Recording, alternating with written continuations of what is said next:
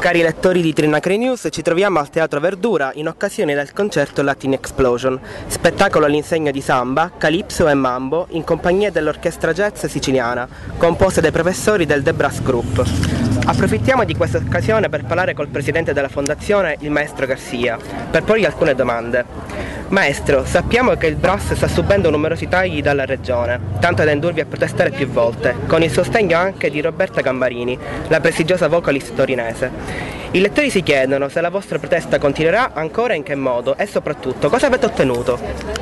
Eh, ancora non abbiamo ottenuto nulla, però oggi abbiamo incontrato il sindaco di Palermo e l'assessore Francesco Giambrone ed è stato un incontro proficuo perché stanno valutando l'opportunità di partecipare alla fondazione come amministrazione comunale, come soci, per eh, concedere in comodato d'uso il, il, il complesso monumentale dello Spasimo che questo già comunque assicurerebbe un tetto alle attività didattiche, al ridotto dello Spasimo, al jazz club e ai giardini sopra le mura.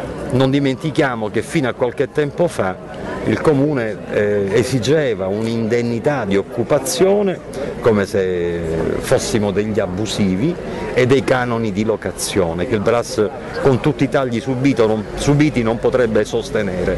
Già questo è un segnale di un impegno e di una considerazione alta da parte dell'amministrazione comunale e questo già ci fa sperare. Nel frattempo eh, andiamo incontro alle elezioni, alle elezioni regionali e mi impongo di credere che il, la prossima assemblea e il nuovo governo eh, valutino appunto la, la, la fondazione del Brass Group nella giusta considerazione.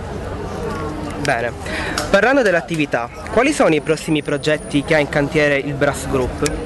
Ma intanto sono già aperte le iscrizioni alla scuola di musica e già dal 3 settembre, da ieri, sono aperte le iscrizioni. E quindi dal 1 ottobre inizieranno i corsi della scuola di musica.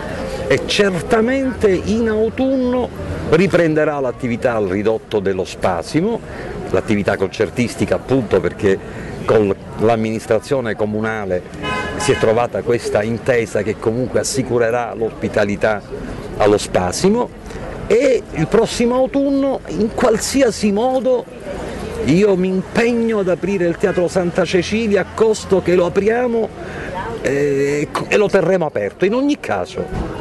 In qualche modo lo terremo aperto e in qualche modo riusciremo a fare attività. Questo è un impegno che prendo con la città. Va bene. Grazie mille maestro e gli auguriamo buon lavoro. Grazie, grazie a voi. Grazie a voi.